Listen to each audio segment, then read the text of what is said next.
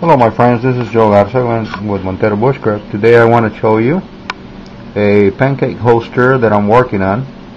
Actually uh, what I want to show you is the tooling that I'm doing on it.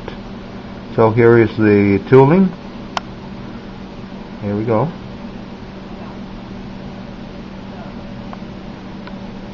This is the front piece of the holster that I'm making. I haven't trimmed the leather yet. I got I gotta do the the tooling first before I trim it. But this is this is how it looks. That's the front piece right there.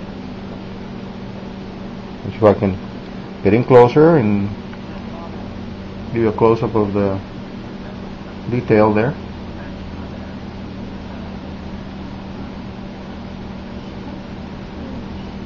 Oh, there it is. Um, I'll give you guys an update when I'm when I'm finished with it. Thank you very much for watching Montero Bushcraft with Joe Garza.